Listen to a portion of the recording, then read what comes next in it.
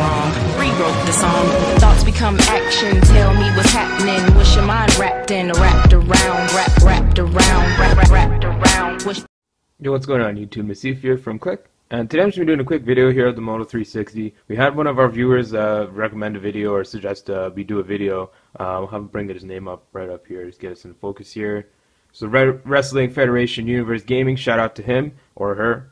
Uh, thanks for the uh, comment on the video. So basically what's up is he is basically asking um, uh, about some of the features that you can, like things you can do on the watch, things you can't do. because recently he switched from an iPhone to a Galaxy phone and he's thinking of picking up a Moto 360. So I'm going to do this video for him. Uh, let's just kick the uh, exposure up a little bit here. There you go. So I'm to do the video here. Um, I'm going to show you first up, basically, um, I'm recording on the iPhone right now, so I can't have the phone in the shot. Uh, but I'm going to show you basically the limitations of iOS uh, and Android Wear uh, the compatibility issues, and I'll talk a little bit about that. So first things first, when you load your watch up and whatever, the battery drain on the watch is intense. Like you don't get a full day, you won't get anywhere near a full day. I think I mentioned this in the um, in the Moto 360 video already. I'll have a link to that in the description.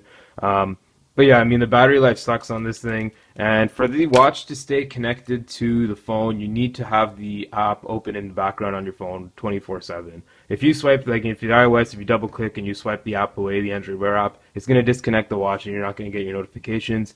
And most of the time, I don't even know that I've like if I swipe it away, it doesn't let me know that the watch has been disconnected. And so I mean that's a bit. I mean I guess it's an issue there, but that's uh, has to do with iOS. Um, in terms of notification management, now on the on the iPhone, there's not really much that you can do. So I have I have a message here from a couple messages from my colleague Im here. Put this one into focus now. So he says, "Oh, nice. What's up today?" All right. So if I, if I'm on my watch, I'm using it for with iOS. I want to reply. I can't. The only thing you can do is just block the app from sending you um, like notifications, and it's the same thing for Facebook Messenger, WhatsApp, and all these different apps that um, that send you notifications with messages and stuff. Now, I can use the watch for stuff like, okay, Google, what's the weather like in Scarborough today?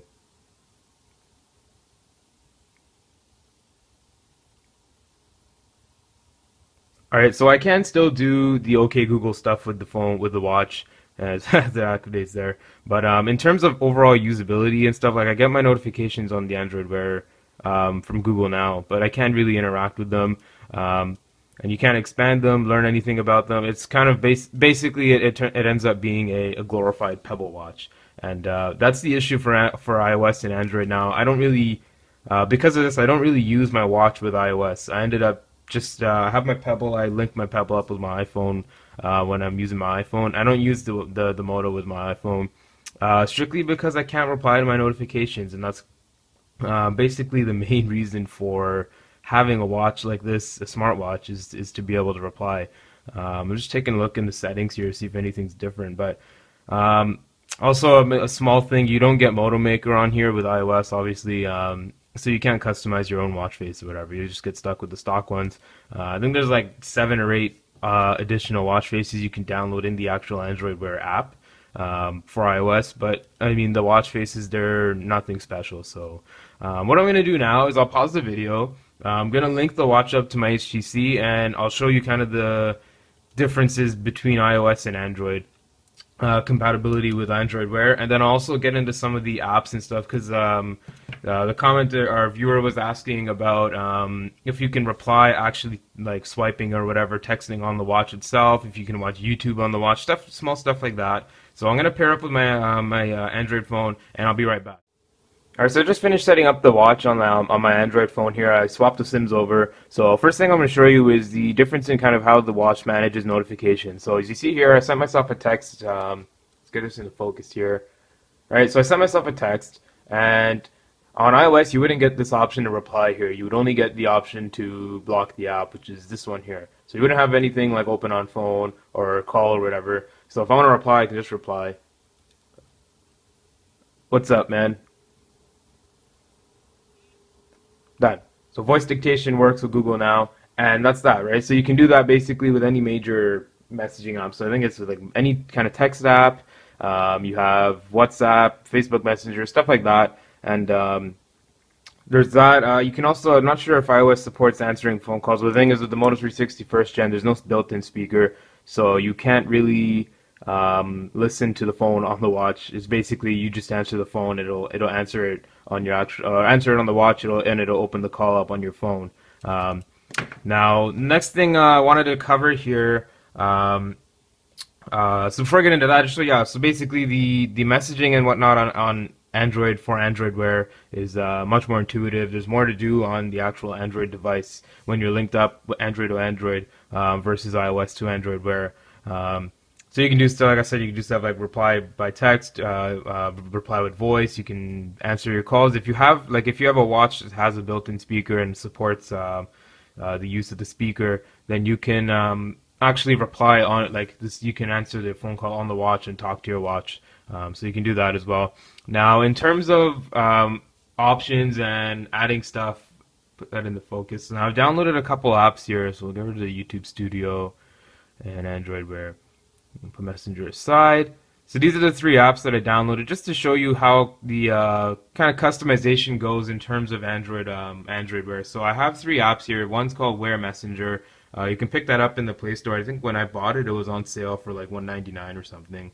Um, uh, so we'll get into that. There's this uh, kind of video slash YouTube thing, and then there's a web browser. So you download these, and it'll um, load it up to your uh, watch basically. Uh, and there's a bunch of settings here you can go through. I just kind of didn't touch them at all. I just loaded them up, let them install on the watch, and um, yeah, so all of them are installed. So we'll get into it on the watch now.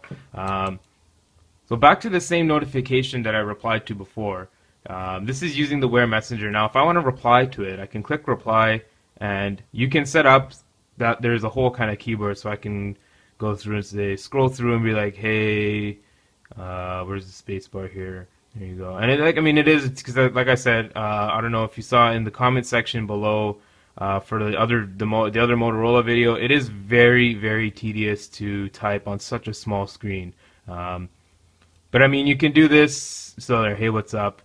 Click the message button, and it's sent away. I just got the notification on my texting app on my iPhone and on my other phone there. Um, so you can do that, and then in the actual settings app for, let's open up the settings app here on Wear Messenger.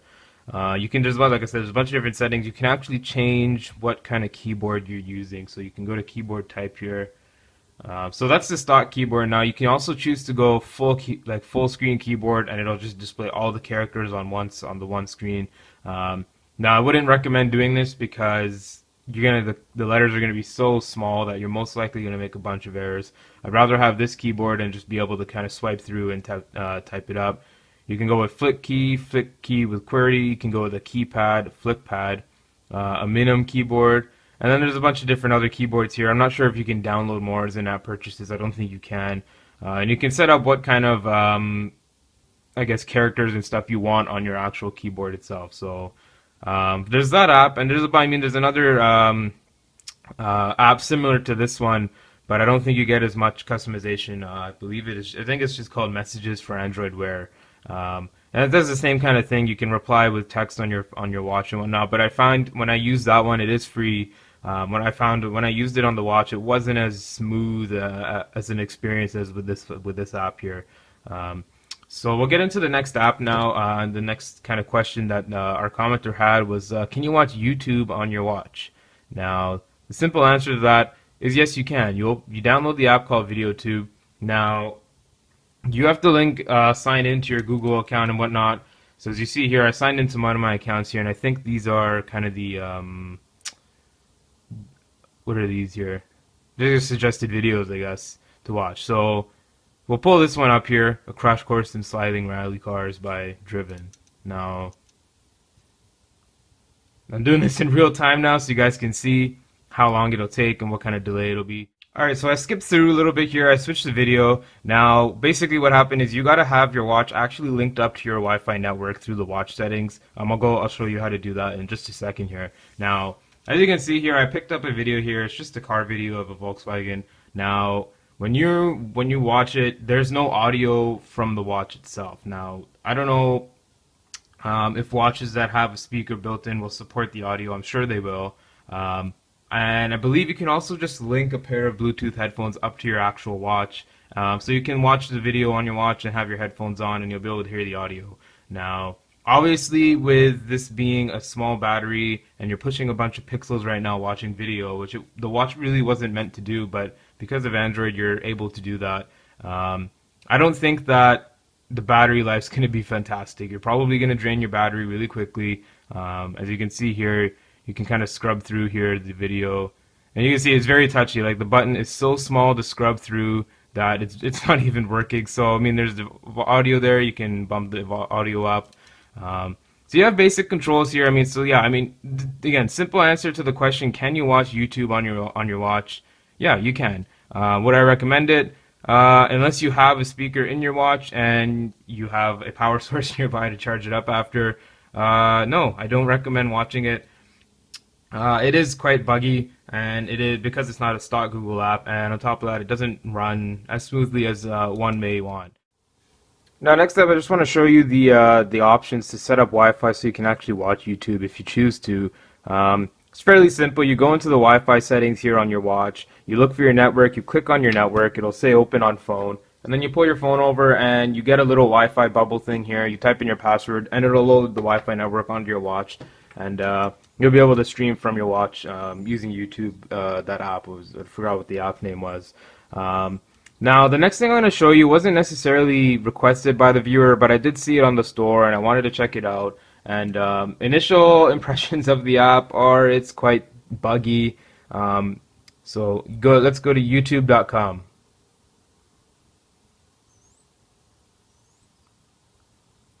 Okay, that picked up. All right, so we'll open this up again here. Google.ca. See what I mean? Like it's really buggy, and I'm trying to do this in real time here so you guys can see whether or not it's buggy or not. So now if the voice search doesn't work, you do have the option to type it in yourself. So we'll type in very tediously google.ca and so these are the web links that it'll, pull up pull up here. I'll come a little bit closer so you'll be able to actually see it. Now these are the different texts. You can open up different I guess um, popular searches for that. So we'll just go to google.ca and we'll see how this thing operates here. So again, you'll it'll use your watch's Wi-Fi, so that'll also kill your battery quite quickly. Um, and it opens up the desktop version of the website, which is not going to be um, ideal for a watch with little to no processing power. Um, and I'm getting a notification here on my phone saying Google app has stopped. Now, I did test this off camera. That's why I had to edit the video and cut out a little bit. Um, it, it it's very buggy. It does affect the watch's performance overall, just having these apps installed. Um, now, yeah, so I mean that's pretty much browser. It opens desktop versions. It's very disappointing app.